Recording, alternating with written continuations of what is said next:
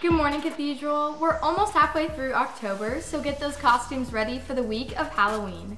ASB will have a costume contest at lunch on Monday the 26th for Cohort A and Wednesday the 28th for Cohort B. The dress code information will be posted in the weekly newsletter and to Schoology. Prizes will be given to the winners. We can't wait to see your creativity.